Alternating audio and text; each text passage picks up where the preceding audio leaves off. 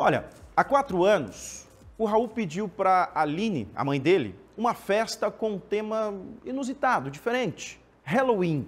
Ele faz aniversário no começo de outubro e é fã de filmes de terror. Então, tinha tudo a ver, é ou não é? Ela decidiu então decorar a sala da casa e foi um sucesso tremendo. Então, no ano seguinte, os dois tiveram uma ideia. Por que não decorar a casa inteira com o tema do Dia das Bruxas? A gente foi lá conhecer e mostra tudo para você agora.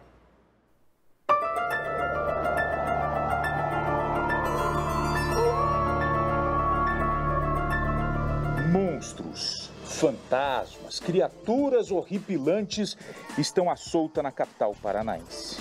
Com licença, obrigado. Você, telespectador do Balanço Geral, neste Dia das Bruxas, vai conhecer a casa do Halloween.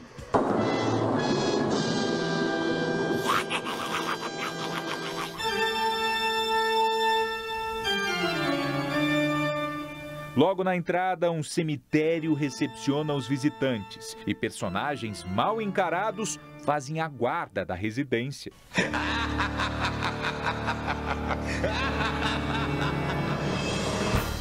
Há quatro anos, a casa é enfeitada para o Halloween.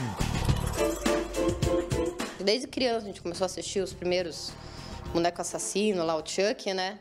Aí foi evoluindo e sempre gostamos, né? Sempre continuando assistindo filme de terror e tudo. Começou esse lance da decoração com o teu filho, quer dizer, ele, ele ia fazer aniversário, ele queria esse tema? Queria.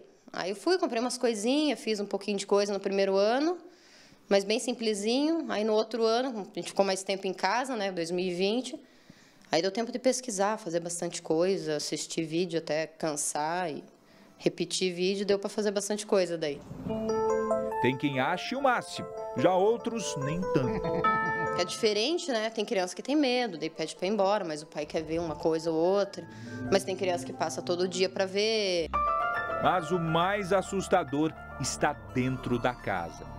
Caveiras, partes de corpos e cabeças de bonecas que parecem nos encarar. Se você é daqueles que à noite tem medo de ficar encarando o espelho, com receio de encontrar alguém lá do outro lado, eu não convido você a visitar essa casa, não. Esse espelho aqui, inclusive, foi encontrado no lixo e foi adaptado aqui a essa peça que a Aline já tinha de madeira. Essa moldura aqui é da família dela, tem 70 anos, também ganhou uma pintura nova e a caveira aqui no centro. E a Aline trabalha dessa forma, encontra muitas peças, né? Por exemplo, esse quadro aqui você também encontrou no lixo? Aline? A moldura eu achei no lixo, né? O quadro é um pedaço de tapume de obra, né? Que eu só pintei o, o castelo em cima, né? Deu uma envelhecida. O caixão é uma caixa de geladeira, né? De papelão. E assim a gente vai reaproveitando as coisas, né? Vai achando, dá para ir mudando, né? Dando outras formas para para as coisas e utilidades, né?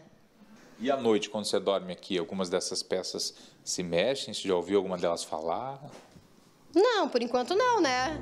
No começo eu me assustava, quando eu esquecia que elas estavam, na hora que acendia a luz, tinha alguém deitado no chão, dava um, dava um sustinho, mas agora não. Tem uma bruxa que dorme lá em cima no nosso quarto, lá, tranquilo, não está incomodando ainda, não. Desde criança, Aline é fã de filmes de terror e é deles que vem boa parte da inspiração para as decorações. E tudo isso aqui surgiu do Raul, o filho da Aline, que em determinado ano ele teve vontade de fazer uma festa com esse tema, tema de Halloween. E a partir de então, você passou a decorar a tua casa nessa época do ano também? Sim, começou com ele, daí ficamos se empolgando, ele também gosta, eu gosto bastante também, daí falei, então vamos decorar todo ano agora, né? Aí dia 1 de outubro já começa a decoração ali na frente de casa. Quanto tempo para você montar toda essa estrutura, instalar todos esses itens aqui? Quanto tempo demora? Toda vai quase umas duas semanas. E para desmontar? Para desmontar vai menos até, que é só separar e botar em caixa, mas pelo menos uns três dias para conseguir guardar tudo. Três, quatro dias para guardar tudo. E a decoração fica exposta aqui dentro e lá fora também por? Quanto tempo? O mês inteiro.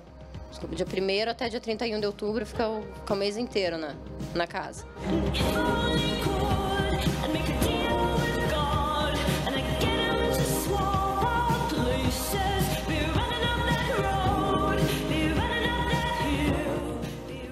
Legal demais, né? Bacana. Parabéns aí pela iniciativa.